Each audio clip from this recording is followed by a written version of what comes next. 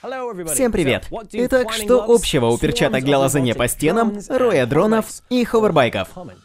Ну, кроме того, что они есть во всех списках желаний на Рождество, они также присутствуют в Call of Duty Advanced Warfare. Однако, насколько возможны в реальности эти три чуда военной техники будущего?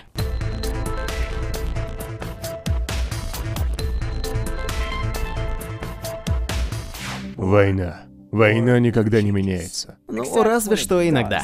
Я, конечно, не историк, но я более чем уверен, что римляне завоевали Европу не с помощью летающих боевых дронов.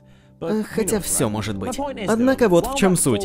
Хоть эта цитата из Fallout идеально иллюстрирует неудержимую тягу человечества к истреблению друг друга, технологии, используемые при этом, меняются. И причем с удивительной скоростью. И это не осталось незамеченным разработчиками из Sledgehammer Games, когда они создавали боевую технику и оружие в код Advanced Warfare. И вот даже слова самого Глена Скофилда. Технологии будущего в игре на самом деле основаны на технологиях настоящего. Мы просто развиваем их дальше. Чтобы что-либо вписалось в игру, она должно быть похожим на правду. Но при этом мы меняем технологии так, чтобы игрокам было интересно играть.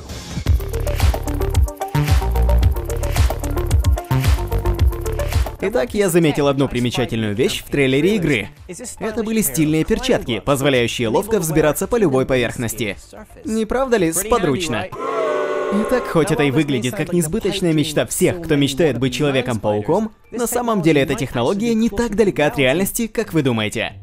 Представляю вам Гекскин, материал, вдохновленный вот этим парнишкой. Гекконы поистине настоящие мастера в лазании, ну или по крайней мере 60% их видов. Они способны взбираться почти по любой поверхности, благодаря присоскам, расположенным на их лапах. Итак, как же они это делают? Ну, они точно не используют никакой клей для этого. На самом деле, ключ к разгадке — это миллионы микроскопических волосков или щетинок. Каждый из них делится на еще более мелкие волоски, заканчивающиеся так называемыми лопаточками, которые позволяют прицепляться к поверхности поверхности за счет силы притяжения, возникающей между молекулами, также известной как силы Вандер Вальса.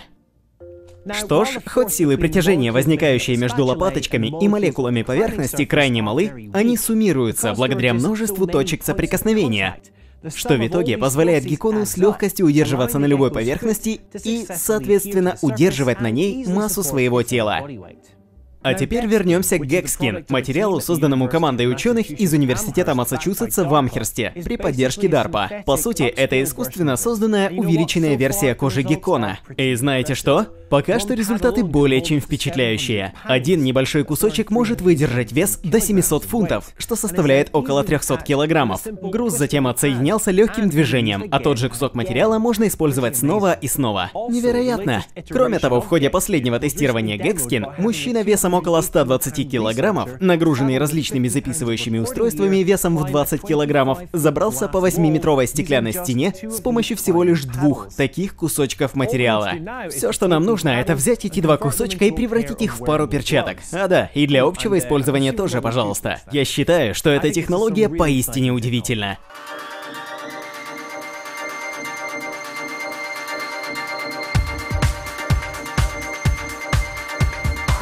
Одним из моих самых ярких воспоминаний о E3 2014 был этот момент из геймплейного демо Call of Duty. Наблюдать за этим роем дронов было крайне круто.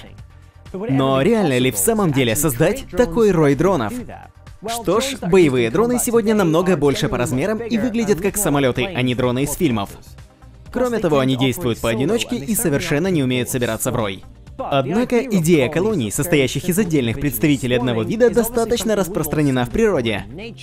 Рыбы, саранча, даже крошечные муравьи демонстрируют групповое поведение, выходящее далеко за рамки их возможностей по отдельности. Итак, возможно ли такое коллективное взаимодействие среди неживых субъектов в случае с роботами? Узрите, рой из тысячи роботов. Ладно, согласен, выглядят они не так уж и устрашающе. В конце концов, каждый из них размером всего лишь с рубль. И у них даже нет нормальных конечностей. Все, что они могут делать, это вибрировать на своих трех тонких ножках. Однако, это даже позволяет им двигаться, что они активно и делают, создавая самые различные фигуры. Приказы им направляются с помощью инфракрасных сигналов, и после их получения они сразу начинают строиться так, как нужно. Если вы хотите увидеть все это в действии и узнать больше о том, как это происходит, посмотрите на видео от New Scientist. Стоит ли говорить, что этот рой не внушает мне такого же ужаса, как тот из Call of Duty, но нам нужно просто воспринимать это достижение как первый, пусть и умилительный шаг к нашей неизбежной гибели от конечности роя дронов-убийц.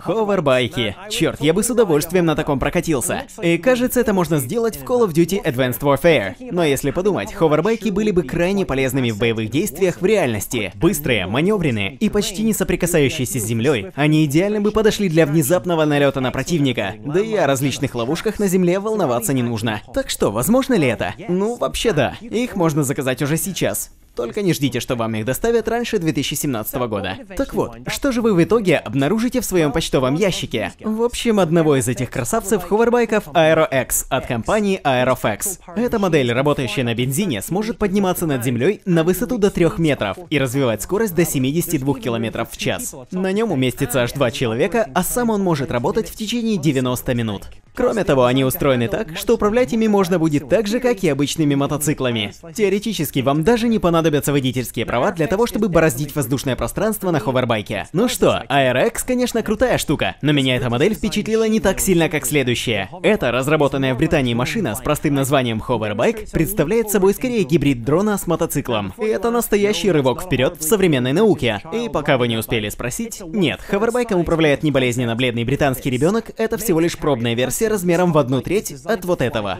Рассчитанный на одного человека, этот ховербайк сможет летать намного выше, чем AeroX, а именно на высоте около 3 километров, и сможет развивать скорость до 200 узлов. По словам работающей над этой моделью команды, тот факт, что вы поднимаетесь высоко над землей, ощутимо снижает риск во что-нибудь врезаться, а значит этот ховербайк намного безопаснее своих низковысотных братьев. А если вы, конечно, ну, не свалитесь.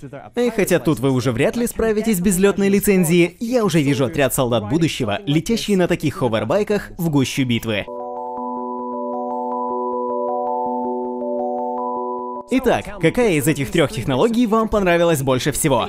Какая из них, по вашему мнению, станет первой в арсенале солдат будущего? Пишите свои мнения в комментариях под видео.